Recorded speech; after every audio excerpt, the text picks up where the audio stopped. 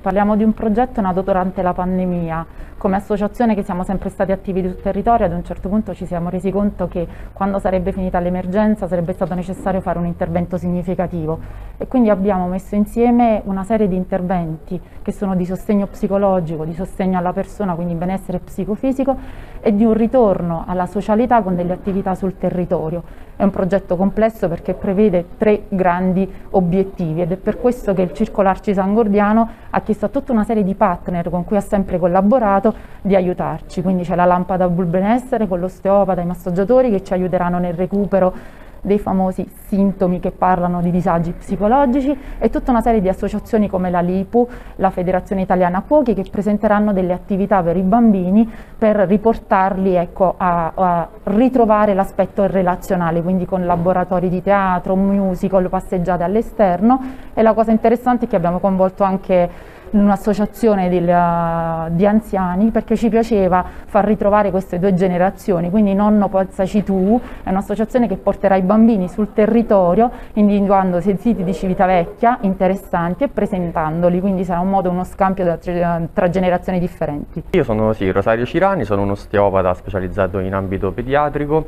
collaboreremo con il progetto Aspettando un abbraccio del Circolo Arci San Gordiano mediante l'associazione Lampada Blu il settore benessere, la quale già precedentemente gli scorsi anni ha collaborato sempre con il Circolo Arci San Gordiano per il progetto Anziani alla riscossa con lo scopo di promuovere la salute a 360 gradi attraverso una visione, un metodo olistico, ovvero sia una valutazione eh, del paziente a 360 gradi e quindi attraverso una visione globale nella sua interezza e non distrettuale. Eh, esattamente eh, durante questo progetto eh, collaboreremo in questa maniera. Faremo degli incontri di natura conoscitiva e formativa perché riteniamo che la conoscenza di come funzioniamo sia il primo passo verso la guarigione, eh, circa un incontro al mese più o meno. Poi faremo degli incontri di natura dinamica e pratica per poter sviscerare e mettere in pratica quelli che sono i consigli e i rimedi che diamo durante questi incontri di formazione e poi faremo dei percorsi individualizzati su prenotazione, su richiesta ovviamente, eh, mirati a eh, scandagliare eh, quelli che sono i motivi di consulto che il paziente ci riferisce. E quindi faremo in quel caso mh,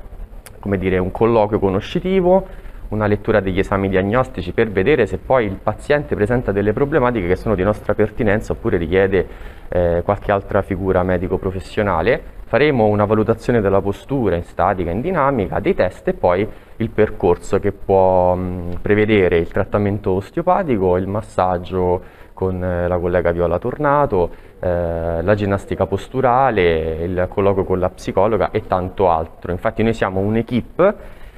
eh, che si avvale di diversi professionisti, dall'osteopatia al massaggiatore alla nutrizionista alla psicologa, proprio perché riteniamo che eh, la nostra mission, nonché il nostro punto forza, sia proprio la valutazione del paziente a 360 gradi.